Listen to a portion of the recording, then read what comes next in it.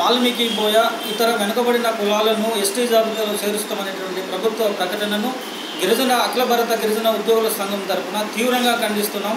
ఈరోజు స్వాతంత్రం వచ్చి డెబ్బై ఏళ్ళు గడిచినప్పటికీ కూడాను గిరిజనులు ఈరోజు విద్య వైద్య ఆరోగ్య పరంగా చాలా వెనుకబడి ఉన్నారు. విద్యాపరంగా ఈరోజు జనరల్గా చూసినట్లయితే నలభై శాతం మాత్రమే విద్య ఉన్నారు. అలాగే ఉద్యోగపరంగా ఈరోజు ఆరు శాతము ఉన్నటువంటి ఆ రాష్ట్ర ప్రభుత్వంలో ఆరు శాతము దేశం యొక్క ఏడున్నర శాతంలో ఉన్నటువంటి పర్సంటేజ్ తీసుకున్నా సరే టోటల్గాను మూడు శాతం కూడా ఉద్యోగ పరంగా లేదు అభివృద్ధి నోచుకోలేదు. ఈరోజు రిజర్వేషన్ ఏమైతే ఉన్నాయో మూడు శాతం కూడా ఉద్యోగులు లేరు.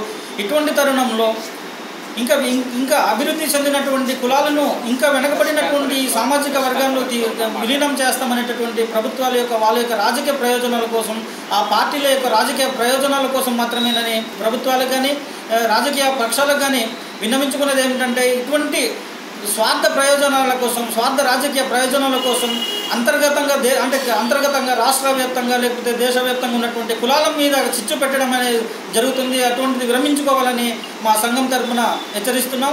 అలాగే భవిష్యత్తులో ఇటువంటి ఇది విరమించుకున్నంత వరకు ఐక్య కార్యాచరణ సమితి ద్వారంగా మేము వివిధ సంఘాలతో వివిధ ఉద్యోగ సంఘాలు కుల సంఘాలతో ఐక్య కార్యాచరణ సమితి ఏర్పాటు చేసి ఇటువంటి విరమించుకున్నంత వరకు తీవ్రమైనటువంటి ఉద్యమాన్ని లేవనెత్తుతామనేటటువంటిది ప్రభుత్వానికి విన్నవిస్తూ ప్రభుత్వానికి కూడా ఈ విషయంపై మేము మెమోరండం సమర్పిస్తున్నాం. బైఫర్కేషన్ అయిన తర్వాత ఇరవై ఏడు లక్షల ఎనభై ఆరు వేల మంది ఉన్న జనాభాలో దగ్గరగా నలభై లక్షల జనాభా ఇప్పుడు తీసుకొచ్చి కలిపినట్టయితే ఏమవుతుంది?